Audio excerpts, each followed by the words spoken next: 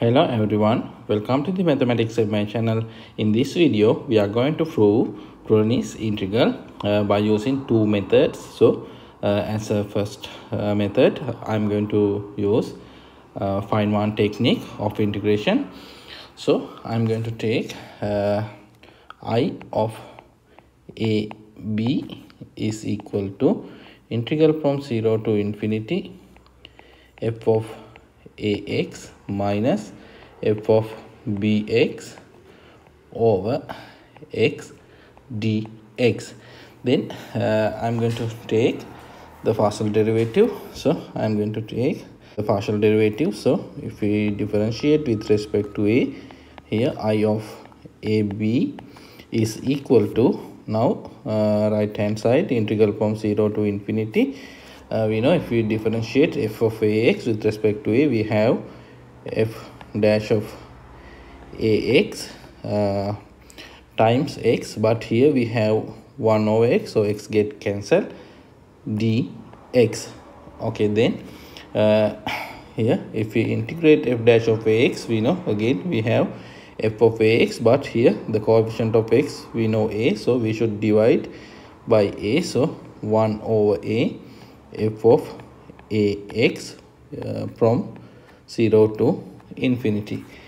Now uh, if we apply limit we have 1 over a f of infinity minus f of 0 okay then uh, again i am going to integrate with respect to a. So here we have uh, again i of ab so i of ab is equal to uh, here uh, integration of uh, 1 over a. We know natural log of a. So natural log of a times f of infinity minus f of 0 plus constant i'm going to take c1 okay now uh, when a is equal to 1 when a is equal to 1 we have uh, i of 1b i of 1b is equal to we know here natural log of 1 0 so we have c1 c1 and also we can write this is equal to uh, integral from 0 to infinity. Here we have uh, f of ax minus f of bx now a is equal 1 so this part we know f of x so we have f of x minus f of bx over x dx and uh, i'm going to take this equation is number one. This equation is number one. Then i'm going to take uh, the partial derivative with respect to b. So now uh, we have uh, daf over daf of b i of ab i of ab is equal to uh, now we know uh, if we differentiate right hand side 0 to infinity. Now we have minus sign so minus f dash of bx dx. Okay then uh, if we integrate we know again we have f dash of uh, bx. Uh, so we have here um, limit from 0 to infinity. So we can write here minus 1 over b uh, at the same time i'm going to apply the limit. So we have f of infinity minus f of 0 okay then uh, i'm going to integrate with respect to b. So this side we know again we have i of ab is equal to uh, integration of 1 over b we know natural log of b minus natural log of b times f of infinity minus f of 0 plus constant c2 okay then when b is equal to 1 when b is equal to 1 we have i of a1 is equal to we know uh, natural log of 1 0 so we have c2 also we can write this is equal to 0 to infinity f of ax minus f of bx b we know 1 so we have f of x over x dx. And we can take this equation is equal to uh, number 2 then i'm going to take sum of uh, 1 and 2 so we have uh, i uh, 1 comma b plus i a comma 1 is equal to uh, now if we add if we take the sum of these integrals we know same boundary integral from 0 to infinity same denominator x here x. So uh, f of x get cancelled and we have f of ax minus f of bx over x dx. And we know uh, this integral is equal to i of a b. And i of 1b is equal to we know uh, i of 1b is equal to c1 so we have c1 plus i of a1 we know c2 c1 plus c2 is equal to uh, this integral we know i of a b.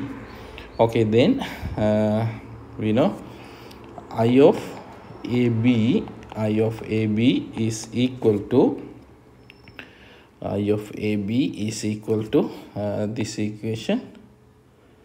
Natural log of a natural log of a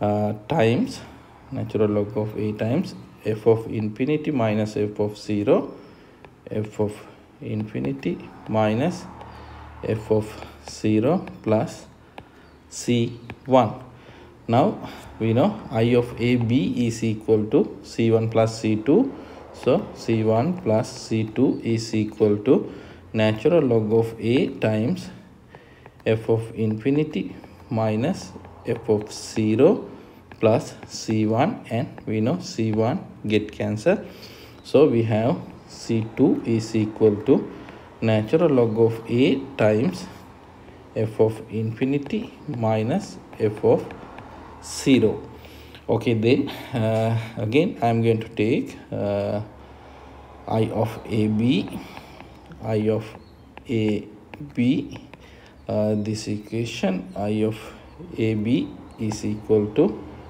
minus natural log of b minus natural log of b times f of infinity minus f of 0 plus c2 now uh, we know the value of c2 here we have c2 so we can write minus natural log of b times f of infinity minus f of 0 plus uh, c2 c2 we know natural log of a times f of infinity minus f of 0 now we can take f of infinity minus f of 0 as a common factor. So here we have natural log of a minus natural log of b. Then according to property of natural log this part we can write natural log of a over natural log of b. So f of infinity minus f of 0 times natural log of a over b okay uh, we are done uh, now.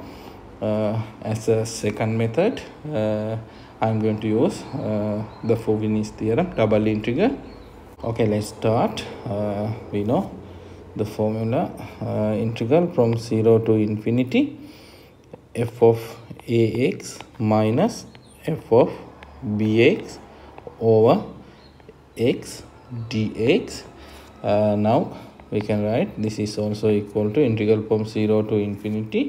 Uh, here we can write instead of this part uh, f of xt f of xt over x uh, limit when uh, t is equal b here upper limit t is equal a dx now uh, integral from 0 to infinity and then uh, here instead of this part we can write uh, integral from b to a f dash of xt f dash of xt dt dx then uh, we can switch the integral sign uh, using Fubini's theorem. We know here b to a 0 to infinity f dash of xt dx dt well uh, then we can integrate uh, here b to a. Now here we have uh, we know integration of f dash of xt f of xt over x sorry uh, t here t uh, limit from x is equal 0 to infinity here dt okay then uh, we can plug in uh, values uh, limits. So we can write here b to a b to a f of infinity minus f of 0 uh, over t dt okay then uh, here we can integrate with respect to t. So we have this is constant f of infinity minus f of 0 uh, 1 over t we know uh, integration natural log of t natural log of t from b to a. Then uh, we know here we have f of infinity minus f of 0 uh, times natural log of a minus natural log of b. Then f of infinity minus f of 0 according to property of natural log here we have natural log of a over b. Uh, here uh, f is a function uh, defined for all non-negative real numbers that has limit at uh, infinity. Okay we are done. If you like uh, this type of videos uh, please um, subscribe this channel. Thank you for watching